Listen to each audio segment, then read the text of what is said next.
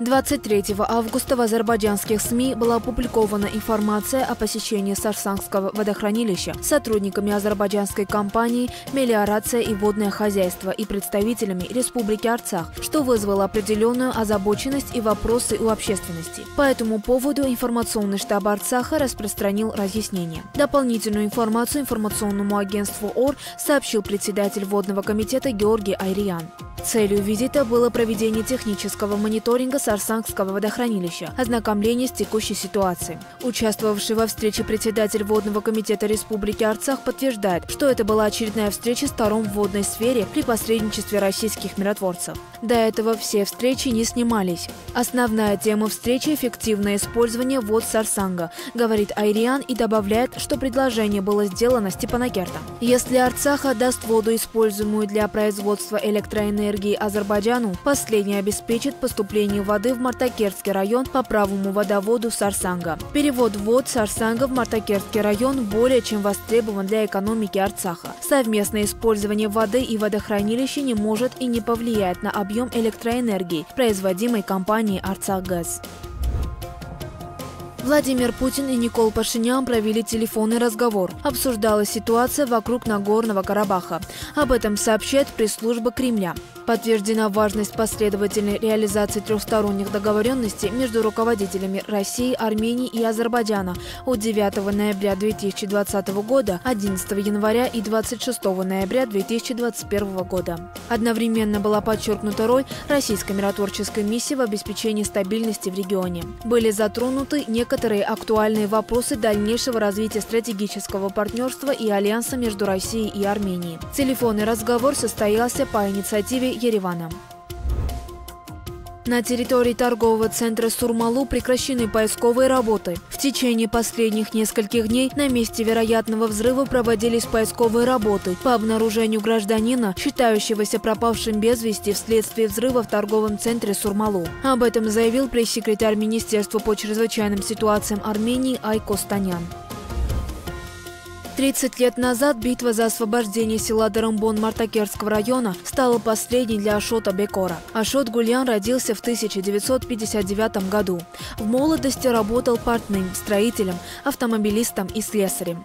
Боевое прозвище получил еще в довоенный период, когда из Шаумянов Степанакерт перевозили оружие. Четверых из пяти звали Ашот, и чтобы различать друг друга во время разговора, они решили дать всем прозвище. Ашота, который уже успел заработать несколько осколков при испытании самодельного оружия назвали Бекором. Рота под командованием Бекора принимала участие в оборонительных и освободительных боях практически во всех районах Арцаха. В большинстве случаев являлся главной ударной силой. В 1992 году во время военной операции в Шуши первая рота во главе с Бекором вошла в город-крепость. В 1993 году Ашот Гульян был посмертно награжден орденом НКР «Боевой крест» первой степени. В 1999 году указом президента НКР ему было присвоено высшее звание Герой Арцаха и награжден орденом «Золотой орел». Премьера фильма под названием «250 километров» состоялась вчера в Степанакерте.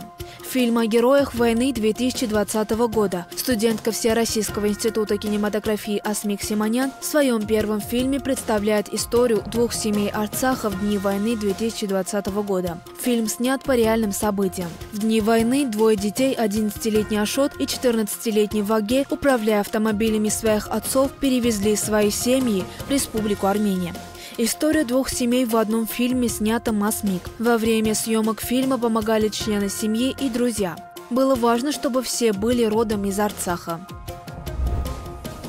Во главе с председателем Национальной академии наук Армении Ашотом Саркисяном в Арцахском научном центре гостили директора ряда институтов академии и ведущие научные сотрудники.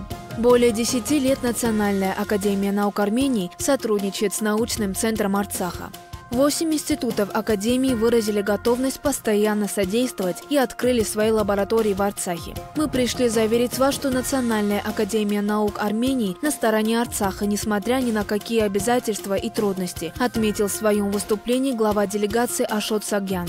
Конечная цель – создать в Арцахе небольшую модель Национальной академии наук, чтобы каждый институт академии имел свое основное направление – По этой логике научный центр Арцаха составил дорожную карту с рядом институтов для дальнейшего сотрудничества. В Республике Арцах скоро начинается новый 2022-2023 учебный год. Дорожная полиция МВД по распоряжению министра готовится к усиленной декаде внимания детей.